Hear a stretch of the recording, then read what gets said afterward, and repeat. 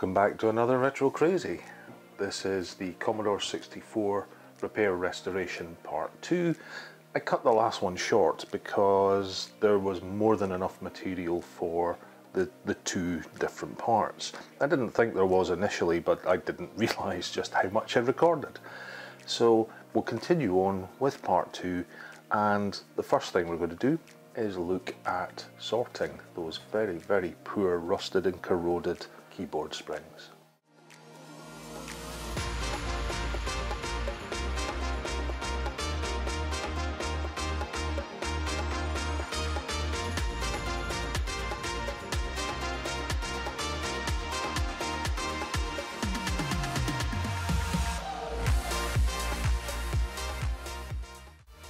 Springs have now been steeping in vinegar, just plain white vinegar for about 20 minutes.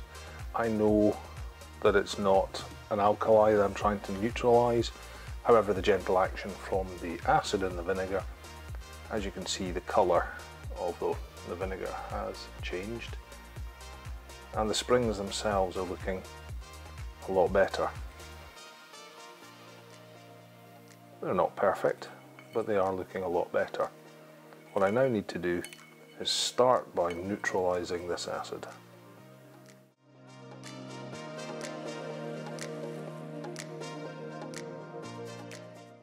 Hopefully you can see all that contamination in the bottom, all that sludge, and that's all come off of these springs. There's still a couple of springs that aren't great, but on the whole they are looking much much better. As you can see just a little gentle rub and look what's coming off.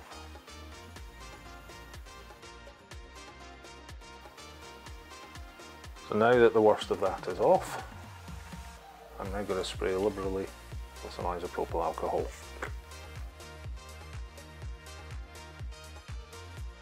I'm now going to leave these for 5 to 10 minutes just for the isopropyl alcohol to evaporate off because I've got one final trick up my sleeve.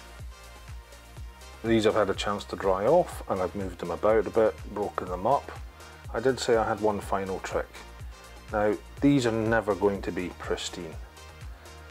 They are still fully usable, no problem, but obviously dropping them into even a mild acid has damaged the finish. Some of them are still shiny, but most of them are now dull. So how do I protect these and stop them getting any worse? Well, silicon oil.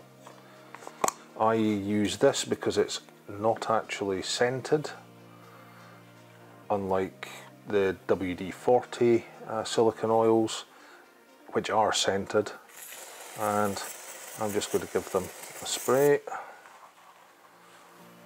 It's quite a thin silicon, but what this will do is this will coat the springs and help protect them from any moisture incursion. So they're now coated. They will dry off a little bit. But They're now ready to be refitted. And as you can see, just with the surface it's coming off, it's actually nowhere near as bad as the camera shows it. So let's move on to rebuilding the keyboard.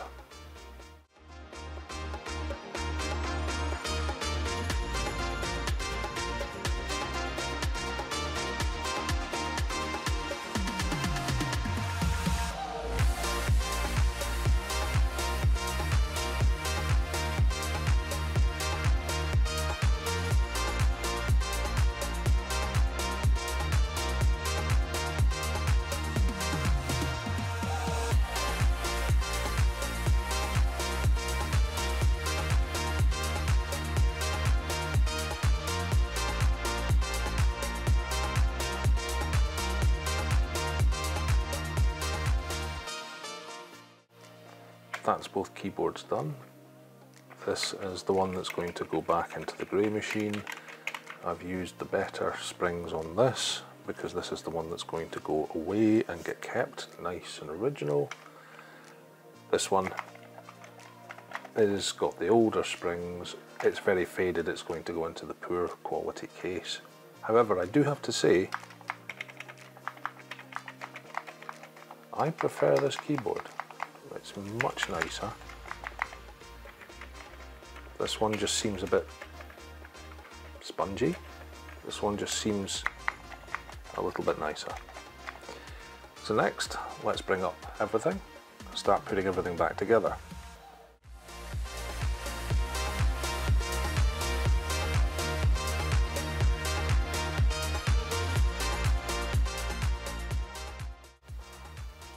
So that's as far as I'm going to take this one at the moment. I'm going to obviously be testing it first and I don't want to button everything up if it's not going to run. So I'm going to pop this to the side and we'll assemble the next one. So before I build this back up, I have a little modification I wish to make. I was doing a look through AmiBay, amibay.com, and I came across a very interesting device and I'm going to test it out on this. The seller is called Plazma, P-L-A-Z-M-A, and he does these. These are anti-static arresters. Version 1 and version 2, he kindly supplied these so I can test them and I'll probably fit these to my 1200 or one of the other Amigas and these ones, the version 1.1, are designed for the C64. They're very small and neat, and one of the biggest killers of the SID chip on the Commodore 64 is static, whether you're plugging a joystick in, or even something as simple as touching the pins and causing a static shock and it blows the SID. Not good, especially in these days where they're becoming rarer And to fit these, you genuinely just drop it over and then solder it on. And there's one for each. Now, looking at the solder there, I'm going to see if I can lift some of that off first. But once finished, it just sits like that so so neat and it's no higher than the screws. It'll sit on the standoff so it won't affect anything. Now these little circuit boards are not only conformal coated but the whole bottom is also silk screened so that's going to give extra protection from shorts. And that'll just sit on there so let's have a look and see if we can fit these just now.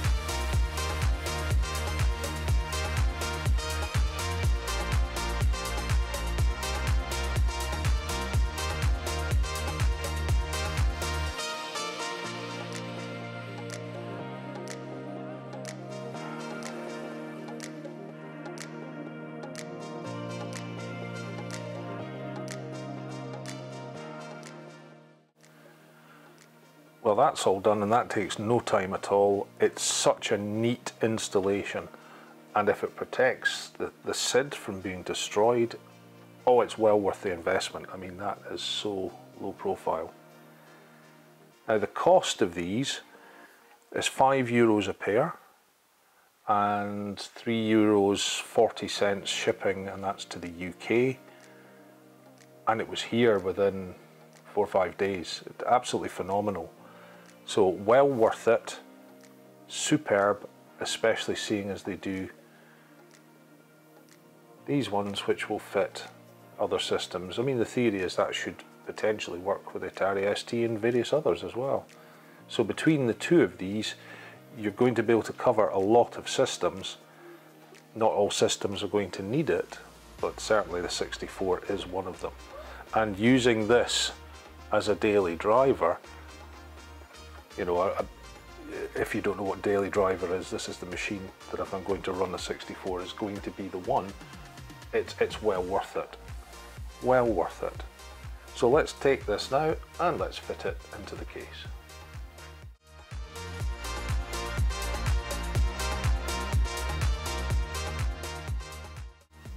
And again, like the previous system, I'm going to leave it like this so I can do some testing.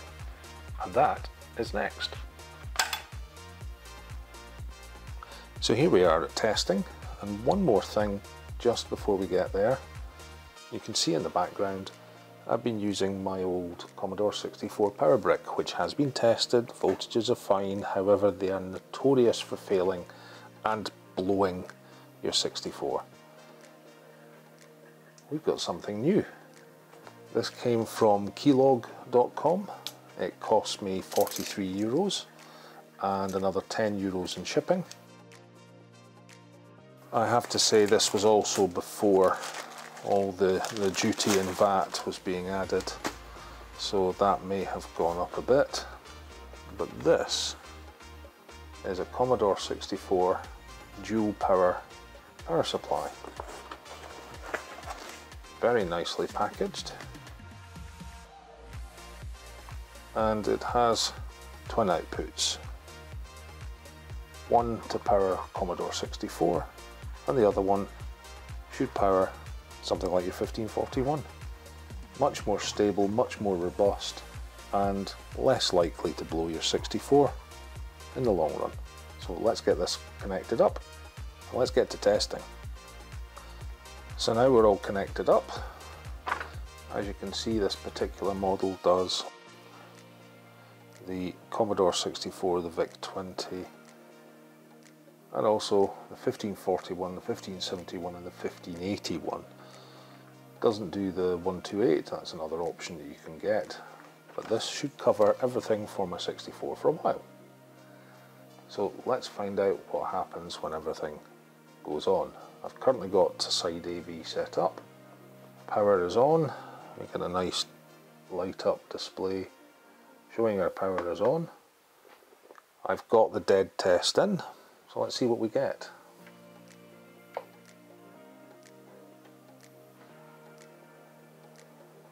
So far I've got a display and everything looks to be correct. So let's see what happens as it runs through.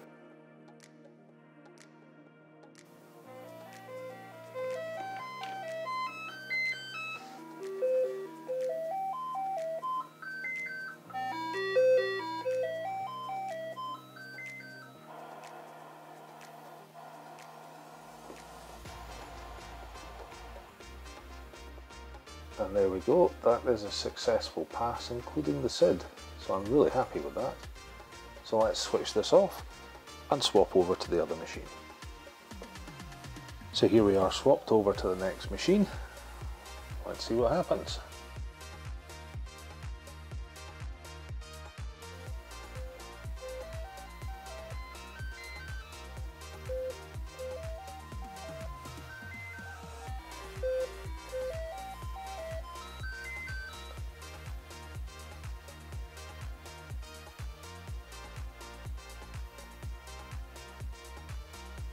Okay, so that's successfully run through its test with a bad control port.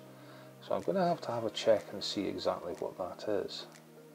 Because I'm actually not sure, I don't think I've seen that error before. So bear with me while I go and check. So after some checking, The only result I can find for this 4066 at U28 bad control port fault seems to point towards the SID. I don't have another SID to drop in. I could drop it in from the other system, but I'm not willing to do that because I believe the voltages are different and that will blow something, which is not really optional. I don't have a SwinSID spare, it's in the C64GS. So at this time I'm going to run with the system as is and I'll revisit that later once I get my hands on either a replacement SID or a SwinSID. So time to finish putting these together.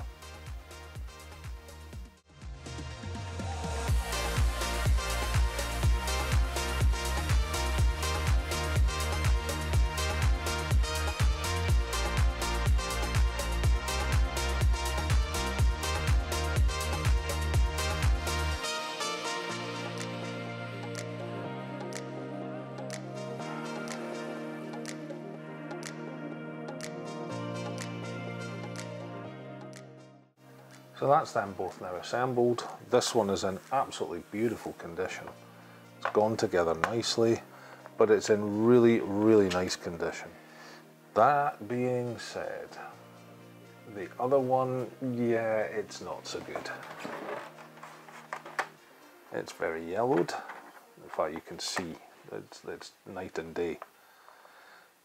The casing is, is broken in a number of places. There's a chip out the corner.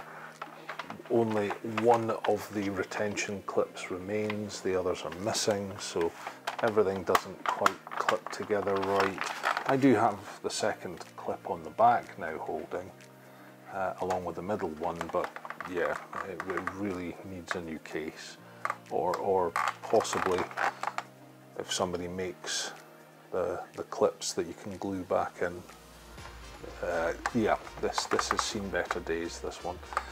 I am going to try leaving it out in the sun if I ever get some sunny days at the moment here in Scotland and see if sun bleaching will bring this back. It might do, you never know. And this power LED is currently held in with a piece of Blu Tack so that it's non-permanent. Again, I'll see if I can get something. Should say this LED, now that it's on screen. I'll see if I can get something to do a bit more permanent fix without having to glue it into place. So what's next? We've got, surprisingly, I, I, am genuinely surprised both of these machines ran as well as they did after recapping. I did expect a lot more problems with the 64s because they're notorious for it, but I'm pleasantly surprised with, with these two. So next I'm going to look at how to actually get software into the C64. Historically you normally use something like the, the Datasette or you used the 1541, 1581 uh, disk drives. However, modern technology will look at something different and that is the Pi 1541 with the built-in Epyx Fastload cartridge. Nice little compact unit this is obviously part of it because you can see there it says you need the Pi 1541 Zero hat, which is what that is, and that needs to be paired with a Pi Zero. In this instance, this is the Pi Zero W because I wasn't able to get the Pi Zero, the difference being this has Bluetooth and Wi-Fi. Not really needed for this. However, this was about £25 delivered and this about 12, 13. The Pi Zero, if you can get it, is about five pounds plus the, the, the postage, which is 2.99. Again, I'll put the links down in the description. The other thing I'm going to need are some pin headers because I need to be able to mount this onto the hat. And the nice thing is, based on this design, somebody created a nice case but you don't have to go to the extent of going and buying it if you currently own a 3D printer. So here's one I made earlier. You 3D print an upper and lower case and a set of four standoffs. Might actually only need two standoffs. Eh, not to worry. So it actually prints like this. So you get the best finish on the surface and all the supports inside which you break off because let's face it who cares what the inside looks like? With this this sits on the bed and this is all support material. But again it's on the underside. You're really not going to see it. So the first thing we've got to do to get all this to work is to fit the pin headers onto the Pi Zero. So let's do that now.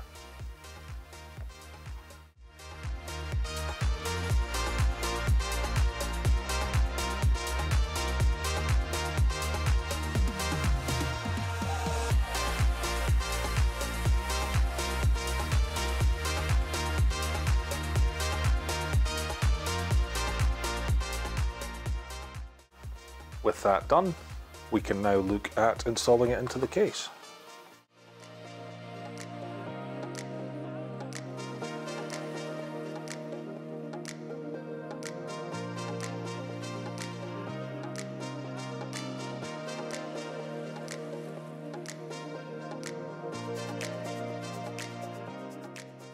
And there we are, we're done. All finished. Together, all buttons accessible, ready to plug in and test in a short while. So next on the list of things to do is the Datasette. I have a number, I've got a nice boxed one, I've got these three, I've probably got others kicking about. And it's important when you go to refurbish these that you make sure you get the right kit when you're going to do the job. So this is a Taiwan model, as is this. This one, you can tell by a different bezel, is made in Japan. Now a quick check through eBay and you'll find DataServe and he does a range of different ones depending on what you have. So I've got two Taiwan versions and I've got a Japanese one. In this video I'm going to concentrate on just one of these just to get it up and running so I can test the 64s, make sure everything's fine. So let's move all this away and let's open this up.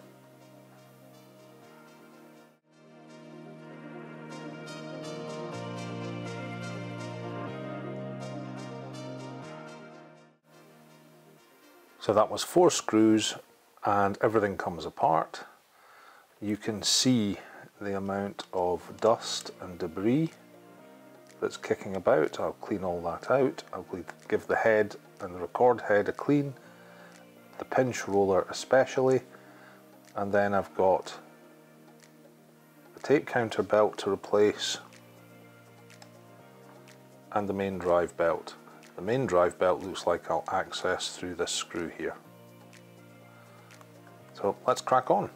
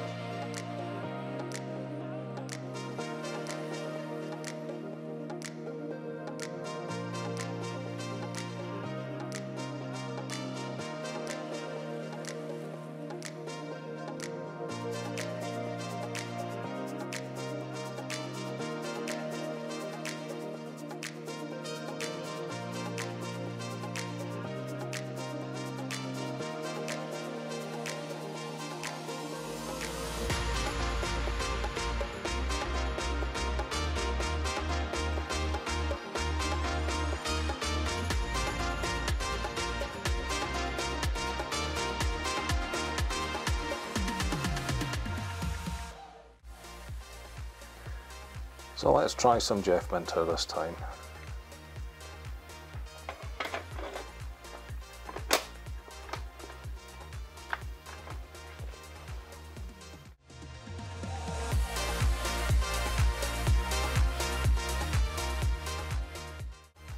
And there we go.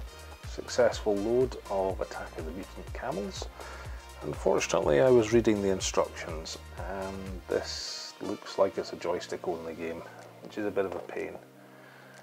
So, uh, well we've got sound.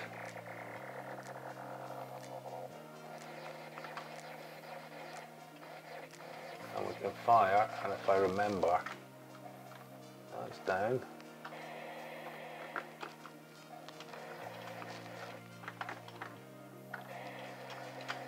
I don't think I've got an up key though. Yeah, it's not going to work very well if I can't shoot them.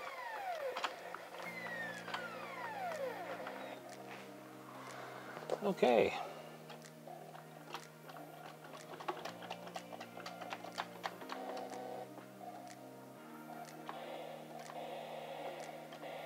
Well, apparently I can do something. Oh well.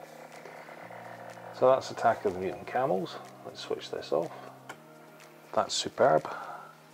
So the Datasette's working. Everything seems fine. One more thing to try.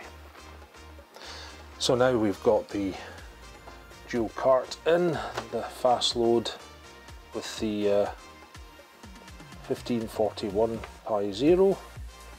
Let's find out what happens when we power on now. Now straight away we can see it says fast load, so that's loaded. And the 1541 Pi Zero has powered up.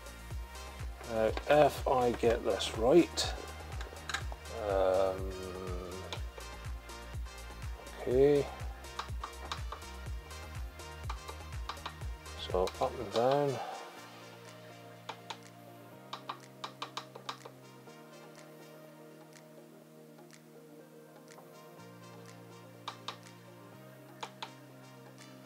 hopefully if we do this.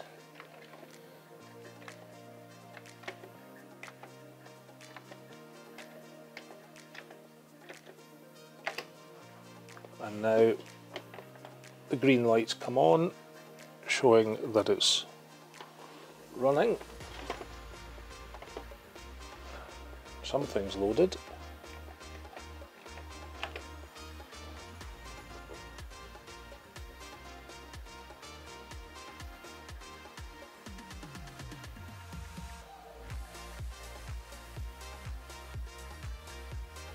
if we load the wrong one it will crash. And this is supposedly one of the ultimate tests to see if it's running is to run Ghosts and Goblins. Now I don't know if the bug that I've got will work.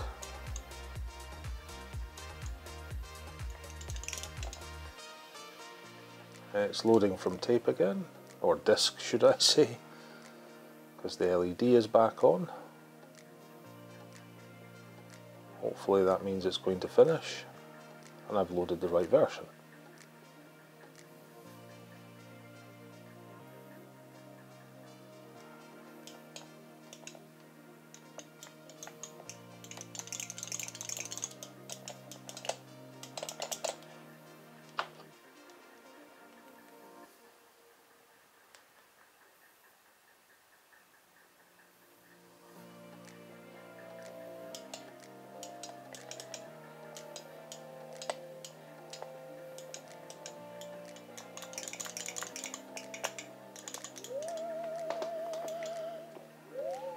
That's certainly running.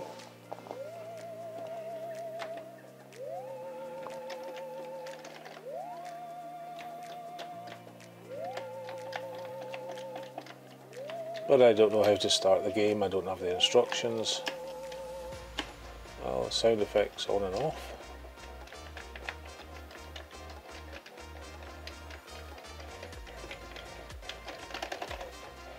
I may not have the right connector in. However, you can hear from that, this is a, a complete success. I am really chuffed. This now makes this a, a very usable C64. Let me turn the volume down.